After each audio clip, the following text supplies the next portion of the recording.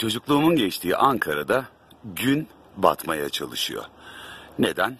Çünkü her yer beton affedersin. Hala çocukluğumun geçtiği binalar format değiştirmemişler.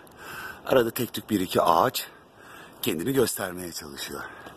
Ama ne olursa olsun duygusu harika.